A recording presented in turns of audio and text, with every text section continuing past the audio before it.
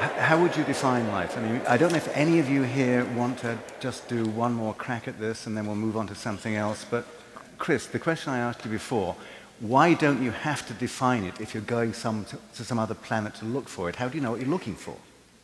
I don't think we need to define it in order to be able to find it. Uh, I think, as Lee said, we can recognize it by the molecules it leaves behind. We don't need a definition, and I don't think a definition will be forthcoming. And you might take the view that we'll only get a good definition when we have more than one example on which to study. So I think the whole debate about a definition is a, is a, is a mistake. Let's just go out and look for it. All right, so, so, Uh, Roger? so Roger? why did you call this thing What is Life, Lawrence? What, Well, well, well, because it's a good question, but I think, in fact, it could change. For example, let me throw it in a completely different direction. When computers become conscious, which they will, um, my Mac is far closer than the PC. Uh, the, the, um, uh, will we call them life? And I think we, and they'll object if we don't. I suspect. yeah. I, mean, so, I, think, so- I think the definition of life is a floating, is a, is a, is a moving target. All right, so, so Paul, you, I asked you before the break, speak to this notion as well. Yeah. That, that people have actually written papers suggesting that there might be life as we don't know it, actually lurking around on the planet. We just even don't realize that.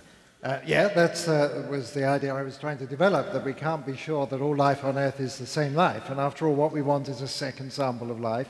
And Earth is a great place to start looking because it's cheap to look here.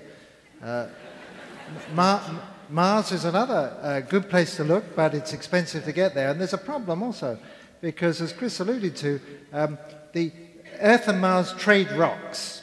Uh, so we have two Mars rocks right here at Arizona State University. So we know that material is swapped between these planets. And it seems very likely that microbes can hitch a ride in that material. Uh, the rocks, incidentally, get off Mars by, because Mars gets hit from time to time by an asteroid or a comet with enough force to splatter rocks around the solar system. So we know that there's a traffic of material between the two. It seems very likely if you have life on one, you'll get it on the other. So we may go to all the expense of going to Mars, find there's life there, but oh, it just turns out to be another branch on the same tree of, li- of life as us. So it doesn't, you, you might find a different form of life on Mars, but you might find it on Earth as well. That's my point. Can I address, you said a definition of life. I have had a stab at a definition of life because for me the most important thing is about the information processing capabilities because I know of nothing other than life or the products of life, like computers, that process what we might call semantic or contextual information. Uh, so uh, th- that, that to me seems to get closest to the heart of what is really weird about life. So does anybody here want to speak to the notion of artificial life? I'm thinking about Chris Langton now, or Tom Ray's Tierra, and so on. Uh, life within, do you want to go, talk about that, Lawrence, the life in the computer? Artificial life, you mean? As it's Artificial called. life, you mean Computer life. what I just said, computer life? I mean, I think it'll share many characteristics. I, I think the difference is, but I don't expect it to be long. I mean, Craig has said for a long time the difference, I mean, he's doing software that makes its own hardware.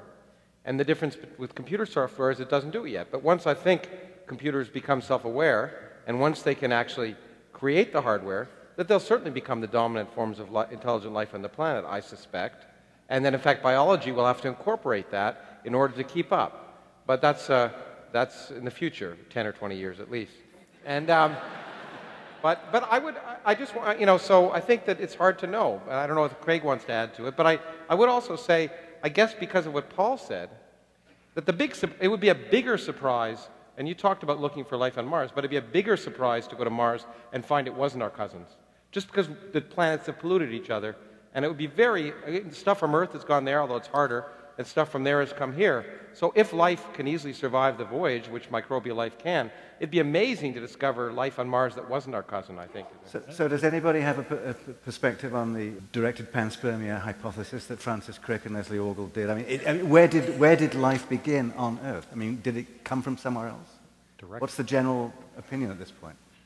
Richard, do you have a thought on that? Well, I, I think that um, Francis Crick and Leslie Orgel's directed span- panspermia was largely tongue-in-cheek, but I think they, they wanted to, to make the point that if indeed, as, as at the time was thought, the origin of life on this planet was a very difficult problem, then you could, um, as it were, spread the problem out by saying it could happen any, anywhere else. I mean, directed panspermia, in case anyone doesn't, doesn't know, it's the idea that a civilization elsewhere in the universe tried to uh, propagate its form of life and put its form of life into the nose cone of a rocket and shot it off and it happened to land here.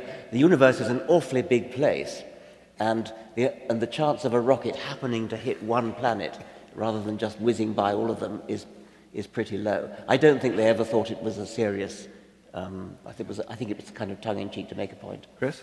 But th- I, I think uh, Richard's right. The directed panspermia maybe was tongue in cheek, but the notion that life could be ejected, like Lawrence was saying, by natural processes and spread, which is just called regular panspermia, is getting more serious attention now because as we study early life, it's looking more and more like life appears very early in Earth history at a very complete and complex level already. It, it seems like Athena springing from the head of Zeus fully formed. It's really quite a mystery, and it's forced some people to think, well, maybe it didn't develop here. It came here and landed here. And that's why we get this impression of incredible development and complexity so early. Is, uh, is Brittany Fox here? Anywhere? Okay, so she, she sent a question in on the, on the Facebook, Twitter, or Origins Project website. I, I think this probably goes to Craig, but other people might want to comment as well. Ethically speaking, do you believe that life should be created in the laboratory, laboratory? And more importantly, do you believe that life can in fact be created in laboratory set- setting? That's easy, yes. yes. uh, you know, in fact, there's, a, there, there's an interesting, uh, being Darwin's birthday, there's an interesting quote uh, in his book about that it would be uh, much more interesting. I, I, don't, I'd have to paraphrase it because I, I, didn't bring it with me. Much more interesting to, to study uh, uh, man-made variations of species than what occurs naturally. Uh, something to that extent, because what he was finding, I guess, in England was pretty boring. but Craig, you've got a long way to go before you make all of life from scratch. You can make the, the, the genome part, that's the easy part, but all the other stuff, it's going to take a while, isn't it? Well, it wasn't so easy, actually. uh, easy with hindsight. Yeah. Well, I mean, it, it, remains to be seen. I, I think the, uh, you know, I mean, we have to cheat to some extent uh, because if we put the components in that can read the DNA, uh, make the proteins. A ribosome is one of the most complex structures uh, we have. And, and, so just starting with the ribosome is sort of like building a new Ferrari and buying the engine from uh, somebody else. Uh, but sooner or later, these uh, simple information systems will get read. I mean, it, it is important, and we are discussing this at the, uh, at the break, as what, how much information transfers with the cell. Uh, obviously, in terms of uh, our species, quite a bit transfers uh, with the cell. The, the mitochondria, the mitochondrial DNA is always just a, a maternal lineage. Uh, I think microbes are a lot simpler, and I think we will be able to totally create cellular systems from non-cellular systems and from synthetic molecules and synthetic DNA. That's still a very long way from creating life from scratch. Right. Uh, right. Craig, do, we, do you know from your work whether what the what the minimal? Do we yet know what the minimal configuration is to make life? You mean the minimal gene set? The, the minimal gene set. Uh, we're, we're, whittling down on it, but th there won't be a minimal gene set. Uh, there'll be multiple ones because I, am not so sanguine as some of my colleagues here that there's only one life form on this planet. Uh, we have a lot of different types of metabolism uh, different organisms. Uh, I wouldn't call you the same life form as the one we have that lives in pH 12 base that would dissolve your skin uh, if we dropped you in it. Oh, I've got the same genetic code. We'll have a common ancestor. well, you don't have the same genetic code. In fact, the mycoplasmas use a different genetic code and would bit. not work in, uh, in your cells. So there, there are a lot of variations on the but you're, but you're not saying it belongs to a different tree of life from me, are you? Well, I think the tree of life is an artifact of uh, some early scientific studies that aren't really holding up. So the, the tree, uh, you know, there, there, may be a bush of life. Uh, right. yes. Uh, bush. I don't like that word. oh, but that's only in. All right, I concede that point. Yeah. yeah. So there is not a tree of life. And in fact, from our deep sequencing of organisms in the ocean, out of now we have about 60 million uh, different uh, unique gene sets. Uh, we found 12 that look like a very, very deep branching, perhaps fourth domain of life. Uh, that obviously is extremely rare that it only shows up out of those few sequences. But it's still DNA based. Uh, but you know, the diversity we have in the DNA world, I, am not so sanguine and ready, ready to throw out the DNA world. I think we're going to, maybe uh, like Richard was saying, we're going to find the same uh, molecules and the same base systems wherever we look. You, in fact, had a comment you wanted to make, Richard, I think. Well, it, it's rather moved on. I mean, I was just going to say I can't imagine why anyone should think it was an ethical problem. I could see why they might think it was a, a problem of expediency. You might, you might fear that it would, you know, escape and overrun the world or something, but, but ethical problem I, I can't see. Well, but I'm now intrigued by Craig saying that he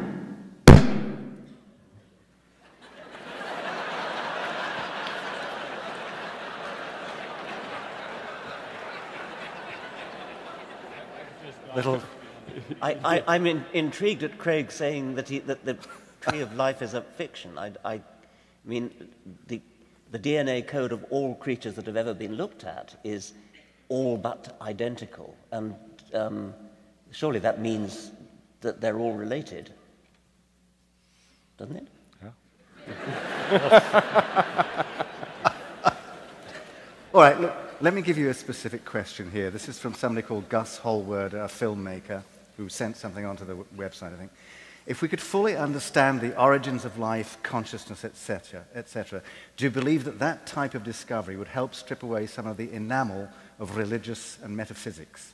Or do you think that, like the Big Bang and other complex cosmological concepts of which we now have a deep understanding, it would simply fly over the heads of the masses and possibly further the gap between science and religion? That sounds like a Dawkins question. Yeah. yeah. Well, it obviously ought to have the effect that the questioner uh, says. Whether it actually would, I'm in, rather inclined to be pessimistic uh, as he, as he is. I suspect that, that it wouldn't, no matter how fully you prove something, those people who are indoctrinated from childhood in their religion would never, ever give it up.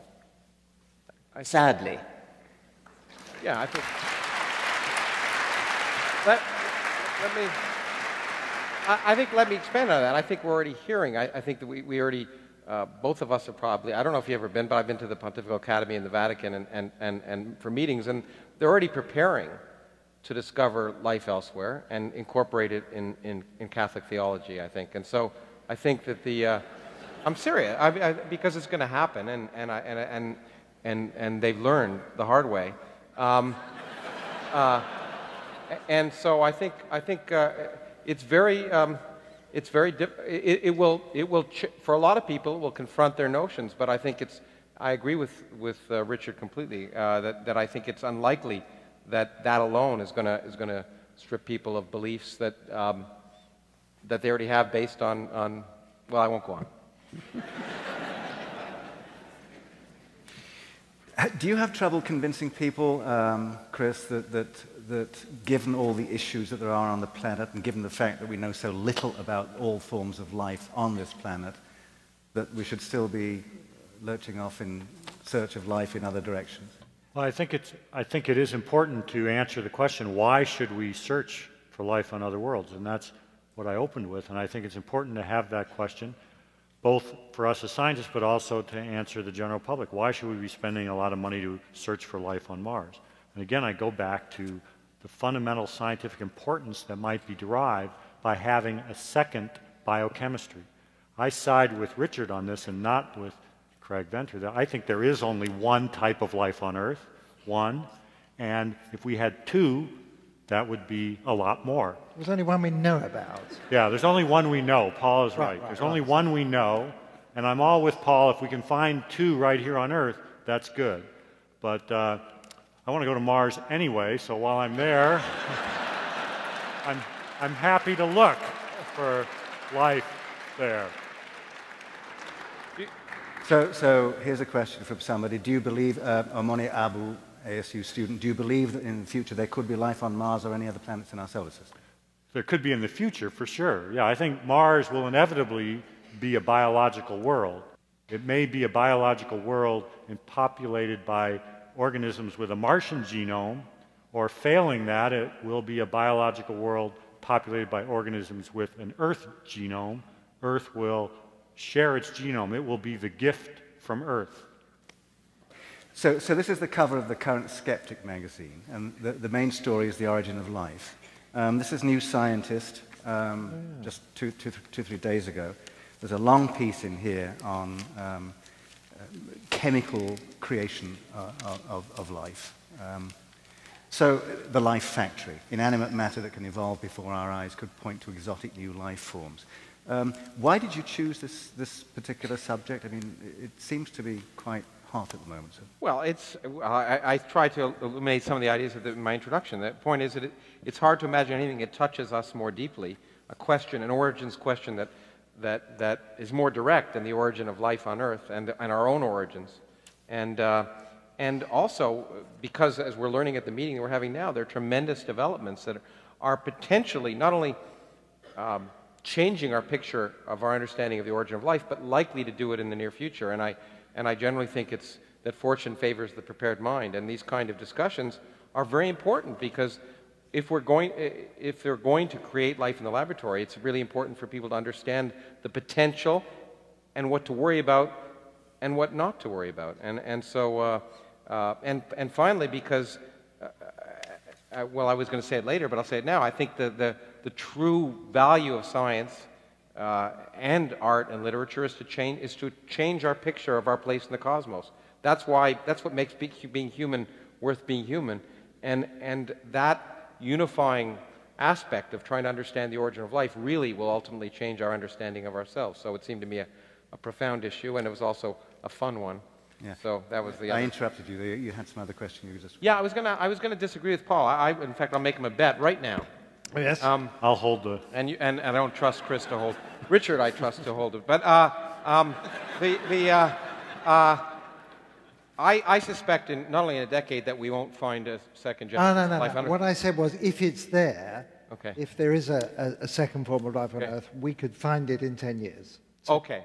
And, oh, Because it may not be there. Yeah, no, I was going to say that in the next, uh, next century, which is good because neither of us will collect, right, that we right, won't right, find yeah. any evidence for a second. Genesis. Uh, and the reason being twofold. One, at this meeting, I've, got, I've become more and more convinced that maybe the mechanisms that have led to life have a reason. Uh, it's not just random, that, that DNA and RNA have the structure they do, and including the set of amino acids they do, for a real chemical and thermodynamic reason. So I'm beginning to think so, that it may have been driven in that direction. But the other argument is that, you know, evolution says that successful forms rule out other forms. And the kind of life we know has been pretty successful. And I suspect it'd be pretty hard to find a niche, as far as we could tell, that even in, in, the kind of life that you're talking about that lives in acid levels that would dissolve us is from the same tree of life. And life seems to have occupied every niche on the planet it could have, the kind of life that we have. And therefore, I suspect that even if there was another life form, it would have been crowded out by now. Those yeah. are well, Darwin no, said no, it would have been I eaten. disagree with that.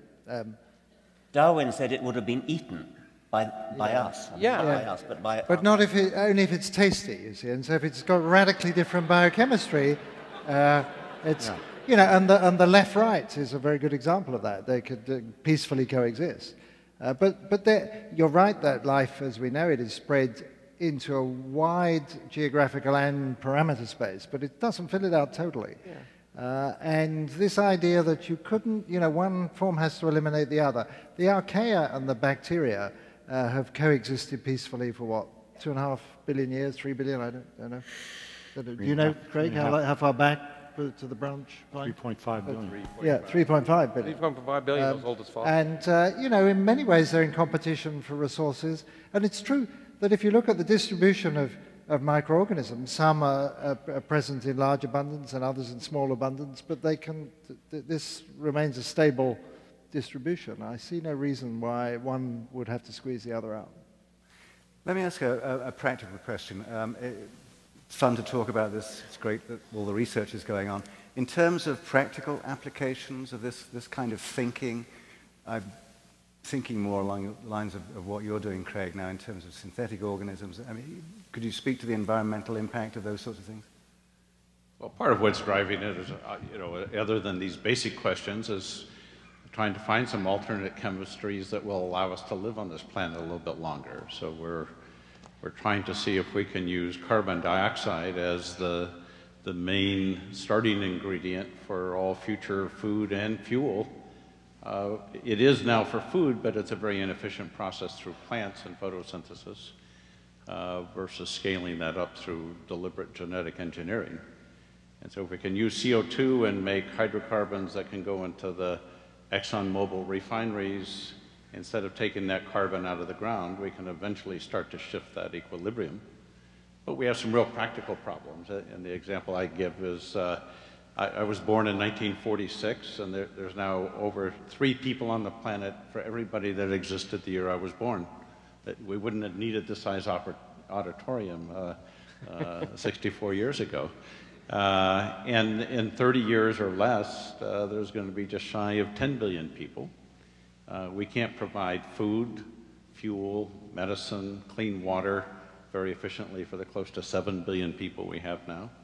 Uh, so we need some new solutions. And uh, uh, people have been looking at naturally occurring organisms. People have studied algae for almost a century now, thinking it would provide these solutions. But algae don't exist naturally to produce these incredibly high uh, concentrations of, of the specific molecules that are needed. But it's not hard in the laboratory to change things a millionfold uh, synthetically.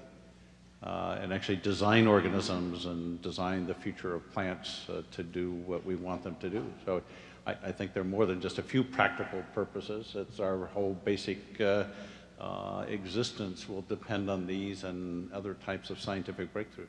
Yeah. Lee, um, Lee Hartwell, uh, in terms of, I mean, your primary focus is on, is, is on cancer and so on, but, but in that you're looking at the commonalities, the, the, the um, conservation of um, information from organisms, from yeast to, to humans and so on. Did what you, what you learned in doing, doing the research uh, give you a different perspective on this question of what is life?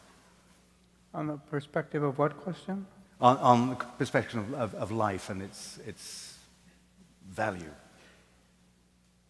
Well, we all value life.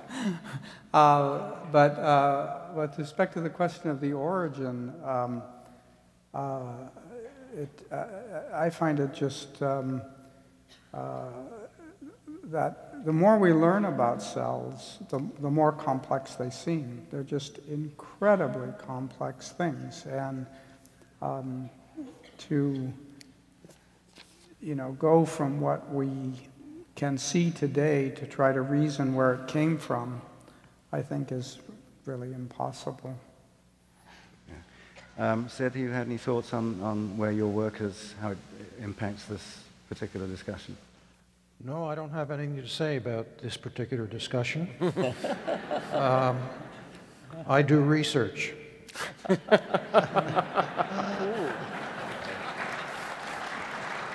Touche. Not tonight. let, me, let me jump in for a second and, and sure. say that, I mean, in fact, actually, it's not. It, Sid should have something to say because we, at just in his talk today, he was talking about how trying to understand RNA actually may allow us to treat diseases in a, um, in, in a new way by using RNA to cleave and, and destroy um, certain diseases. And I think, and, and I was surprised that Lee didn't, didn't pick up on that, that not only the, I suspect the economy of the, of the world will depend on the kind of software hacking that's done with G DNA in the future, just as the present economy depends on, much on, on, on, the ones and zeros in, in silicon. And, but I suspect at the same time as the economy that, that our health in the future is going to be dramatically affected, our ability to fight disease and treat diseases by exactly these uh, questions of that, that, the research that's being done by many of the people in, uh, at this table. I, so yeah, it was, it was a clumsily asked question. What I was trying to get at was that I read somewhere where I read your Nobel Prize speech and so on, that working with yeast and then seeing um, how, how similar mechanisms translated and so on and so forth gave you this wonderful sense of, of the connectedness of things, if you like. Uh, Oh, well, I wasn't trying to force lyricism yeah, into your mouth. I see, yeah. No, that's certainly what, what is, is, I think, um,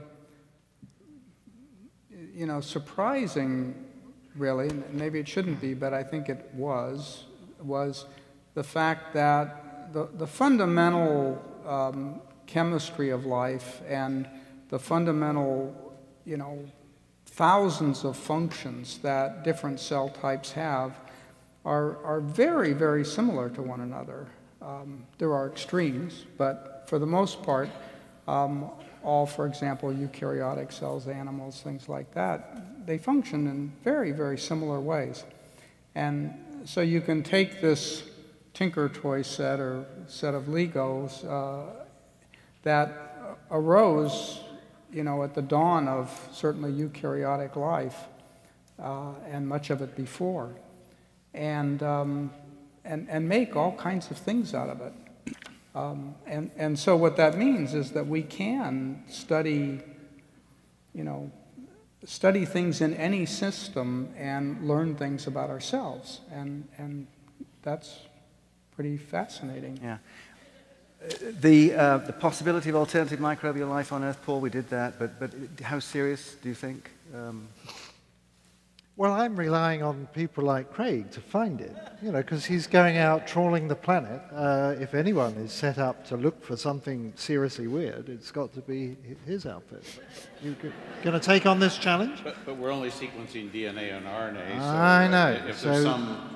Right? So you've got to keep your eyes open. But, you know, maybe you should say what you've done because I, I find it fascinating what you've done with your little sailboat. Uh, not that little, but uh, ju- it's just amazing with what one search is how much, how many new life forms have been uncovered. I don't know if it's clear to people.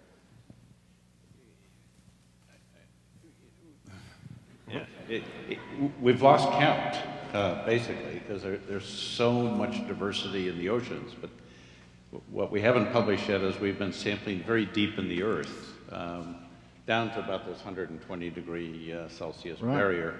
And how many kilometers is that? Uh, well, you can go down, depending on where you are, a mile to two miles. You prefer deep. miles, right? Um, it, it, and so it's, it's not real deep, but there, there's more life underneath uh, the surface of the Earth than there is in the oceans, or certainly equivalent, the same densities. But the organisms are very different, and there's, uh, in the ocean we find this tremendous diversity, probably largely due to UV radiation. And deep in the earth, uh, we don't find the same uh, clouds of diversity around the same organisms. In fact, they, uh, getting a, a sample from Colorado, about a mile deep, an organism was close to being identical to one from a volcano in Italy. Uh, so maybe without UV radiation, without all these things that drive mutations, uh, life is a lot more stable. And, and so we have, uh, we haven't looked for non-DNA, non-RNA life, but when you're isolating cellular life, there is nothing that shows up that's not in that category. Well, how, but how would you know? Because we do cell sorting down to the single cell level. And you never see- we and you test for DNA. and we can sequence a genome from a single bacterial cell. Ah, yeah. But you see, if you tried to sequence one, even that had a di- different genetic code, you wouldn't make any progress, would you? You move on to the next But one. But this is like trying to prove there's no God. No, no, no. No, it's not. No, no, no it's a real no, question. No. So, for example, you can stain for DNA. Okay. Richard back in the argument. Uh, but, but I'm trying to put a research project here, you see. You can stain for, for DNA, is that right? But you can't stain for no DNA. Ah, but if you see um, uh, you know, a population of microorganisms and only a third of them are staining for DNA, you think, well, what are the other two thirds? They all have DNA in them. All the ones you've looked at so Or far. maybe, maybe there's some invisible ones that we're not No, seeing. no, no, right? no, no. You're not taking this seriously. You don't see them because the way you see them is by staining their DNA. Right. We sort them down to single cells in the cell sorter, and we can grow them up from single cells. Right. We can do the genome. You, you can grow cells. them uh, in a standard uh, cell culture, but if they were radically alternative organisms, they wouldn't grow, and so you throw them away. It's self-selecting. If you go looking for A, you will find A, you won't find B. I want you to look for B. I'm going to take this bet and say you're not going to find anything in the next 10 years. Well, not if you don't put your heart in it. Let, let, let, me, let, me ask, let me ask a question to everyone here, I want to hear the answer to. I'm, I'm going to ask it so I don't have to answer it. Um, do you think in, in, in your lifetime, and that varies, um, uh, uh, that we will know the, the, origin of life on Earth, what, uh, the step by which non life became life on Earth? Do you think we'll answer that question while you're alive? Start with Richard, maybe, and move down? Uh, I'm increasingly optimistic, having attended uh, the day's conference uh, that you organized, Lawrence. I, I, I, had hitherto thought of it as a rather remote possibility, but um, things seem to be really moving in an exci- exciting way, as far as I can understand it. So, yes, I think, I think it will. Sid? I think it's quite possible. The question is, as you said, how long are we going to live as individuals? and I don't expect to live that long. Uh, but I think it's, it's very hard to make predictions about the future, as Yogi Berra said. But perhaps in 20 years we might understand something about the real origin of life. Uh, I, I, know you want to go down this sequence, but I have another question for you, which maybe uh, we can come to after Lee oh. speaks. Oh, go ahead. I don't have anything to say on this subject. Well, okay. Why don't we go? Why don't we go? Why don't we go through no, here no, and then no, you can no, ask your no, question? No, no, I want to ask you the question. Oh, you want to ask me a question? Yes. Okay. Well, well before you change the topic, uh, you know, I, I disagree. We're not going to know the origin of life on this planet. We're generating hypotheses, and the only way to test those is to see if we can recreate those conditions and that origin on another planet, or witness that it did take place. You know, there's some things we can do in science in terms of proving uh, certain things about life we discover, guessing what happened uh, 4.2 billion years ago or 3.5 billion years ago. We can come up with a lot of good guesses. There's been a lot of good guesses floating around. It, it, it's impossible to prove it. I, I have to really disagree there in the sense that, uh, because I think it's part of the problem, partly of science and religion too, is that people have the wrong impression of what science is. That science tells a story, and it's a story like any other story. But, it make, but the difference is it's a story that makes predictions. So you can, you, can make, you can try and guess what happened in the past, but there's sometimes, based on those guesses, that you can make predictions about things you haven't measured yet. Say, if life formed this way, then I can do this experiment in the lab and observe something I haven't yet seen. And if I do that enough, and if it walks like a duck and quacks like a duck, and all my predictions are consistent with what I see, then I can say that I'm not post-dicting, I'm predicting. No, but then Paul would say well, you didn't look for the other life form. but, uh, uh, Craig, I think uh, I agree Craig, Craig, that I, uh, we're unlikely. I, I don't disagree with anything you said in, in, terms of your last few statements. You're absolutely right about the things you said. Uh, but I think it's possible, again, from material we heard earlier today and what I know other scientists are doing, who are interested in this topic that we might have some information, put it that way, about the origin of whatever we call the origin of life 20 years from now or something, something like that. I, I certainly won't. I agree with that. Yeah, I certainly won't say anything with certainty. There, there is another question, Lawrence, which I would like to ask you, which has nothing to do with what we were just talking about. Okay. You were talking about the future of computers and that they will have consciousness, which I don't understand at all. I don't understand what you mean by consciousness, but we don't have yeah. to talk about that right now. And knowing that you're a very erudite person, and that you've probably read some of Isaac Asimov. Of course, yeah. Yeah. Shouldn't we make sure that the three laws of robotics are imposed on our computers? No, I, I, actually, I don't. I, it always amazes me, and I'll bring in Star Trek because I'm contractually obliged, uh, uh, to, to, um, that we have this perception that somehow um, alien life, be it computer life, is always a threat, and that in fact, that, that um, our future isn't, isn't, isn't their future. And so the, the part of the problem of, the, of, the, of Asimov's three laws is the assumption that doing away with humans is a bad thing. And, uh, and it's not at all clear to me that that's a bad thing in the long term. That because I doubt, in, I doubt, 200 years from now that what that being human will will have that much resemblance to what being human is now. And, and, and no matter what, whether computers get get get uh, get intelligent or not. I suspect with what we'll be able to do in genetics, no, no, no. that the definition You of could say the same will thing. evolve. You could say the same thing about Benjamin Franklin, that he would have had no idea of what our life is like today. But I think that's partly But he didn't have the No, just a technology, and we don't No, have the no, no, technology no, no. we'll Benjamin Franklin would understand what life is today, even though he wouldn't recognize it easily. And we will understand what life is like 200 years from now, even though it might be difficult. Oh yeah, but it, it, but being So- human may be very different than what it may have very little resemblance to what, what being human is today. And I'm will, and that doesn't seem to be. It's not a good thing or a bad thing. It just seems to me that what's possible is going to happen, and there's no sense trying to avoid it. Well, I don't understand what you mean by what is possible and, and what we can or cannot recognize. I- but I- we, we'll talk about Okay. this later. Do, do any of you, um, have any of you had any um, sympathy at all for the, the, the Gaia hypothesis that Jim Lovelock and Lynn Margulis put out some years ago, the notion of the, of the, the, the Earth itself, or the biosphere at least, being a living organism? None. None. No sympathy. I didn't think you would. but I thought, I thought nobody subscribes to that at all. no, Richard Oh. agrees with me. In, in the, in You the can ask, he's, mu- he's much more eloquent than I am. I know. In the weak sense, life has Yeah. changed Earth. In I mean, as I said, oxygen exists in the atmosphere Right. only because of life. Yeah. So life is intimately connected. And as we learned at our meeting today, intim- and geology is intimately connected with life. We've learned that, that, that the geological features of the Earth, in fact, no doubt dramatically affected the way life evolved. So there's an intimate connection between life and the planet, but some kind of cosmic um, New Age thing I'm not a big fan of, no.